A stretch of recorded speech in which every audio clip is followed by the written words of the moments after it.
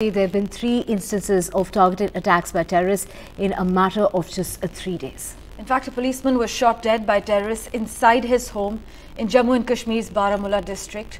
And on Monday, a migrant laborer, Kuldeep Singh from Uttar Pradesh, was killed in Pulwama. Parmeshwar, on Sunday, a police inspector was shot and injured in Srinagar.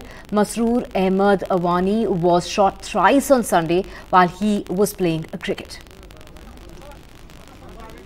We have our colleague Nazir joining us on the phone line. Nazir, the third targeted attack in a matter of just three days.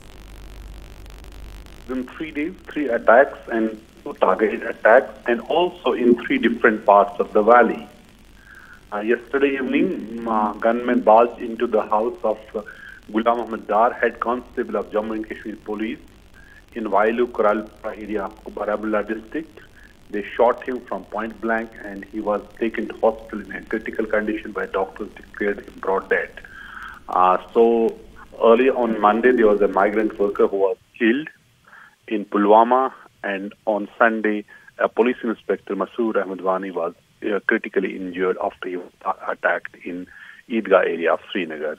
So clearly these uh, target attacks have resurfaced. Militants are trying to send a message that they can uh, carry out such attacks at a time when the police and the government have been saying that militancy is at its last leg. Very few boys have joined militancy over the last one year, which is the huge, huge change in the ground situation that police have been seeing.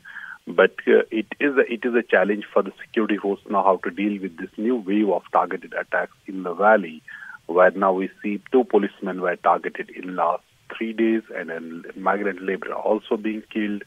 Um, it is it is a tragedy for the families. Besides the you know what we talk about militancy, counter militancy. Look at the family of the Ghulam Ahmed Dar head constable. He is survived by his wife and six daughters, and he was a sole breadwinner for the family, whole family.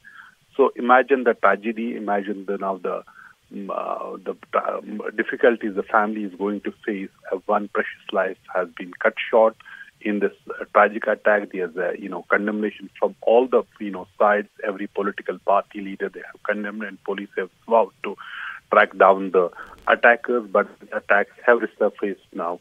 Three attacks within three days, and uh, the latest one is the police head constable was killed inside his home.